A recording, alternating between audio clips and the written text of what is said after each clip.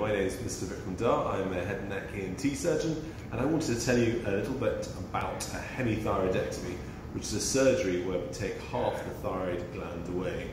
But most of the times, there's a nodule in that thyroid gland that we may be concerned about, or it may just be a little bit big and causing some, some pressure.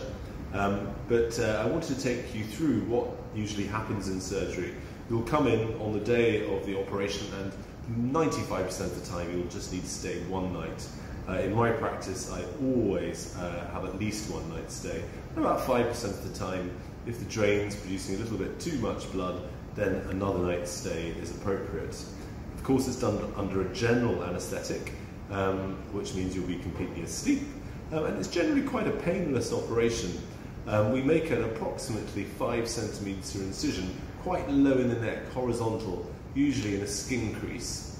And we dissect down to the gland, and the thyroid gland is a butterfly shaped gland, low in the neck, which um, we uh, dissect onto and then find some important structures. One of those structures is the recurrent laryngeal nerve. And that's a very important nerve that makes your vocal folds move. And the chance of damaging that is less than 1%. Um, there's, we use a recurrent laryngeal nerve monitor throughout the operation to reduce the chance of damaging it.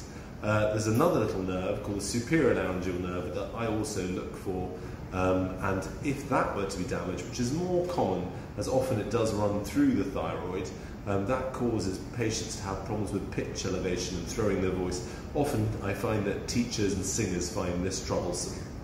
Um, the other important structure to look for in the operation are the parathyroid glands, and they're the size of a grain of rice, and they can easily be devascularized. That's the blood supply taken away from them. Um, but in a hemithyroidectomy with no previous surgery, there's no chance of having a low calcium or low parathyroid hormone level after surgery. Um, Beyond that, the, uh, as with any surgical operation, there's a small chance of bleeding, so we leave a drain in overnight to collect any blood, and a, a less than 1 in 100 chance of a significant infection. Um, otherwise, uh, thyroid surgery I would describe as a, a moderate uh, size surgery, um, and people make a very good recovery. Uh, within two weeks, they're usually back to uh, normal activities. We tend to put clips in after the operation, which uh, can be easily removed by your general practitioner nurse 48 hours, yes, that early after um, surgery, and uh, strips can be placed upon them. We tend to say not to soak the wound until about five days later when the strips can come off um, and uh, things start getting back to normal. Hope you found that useful.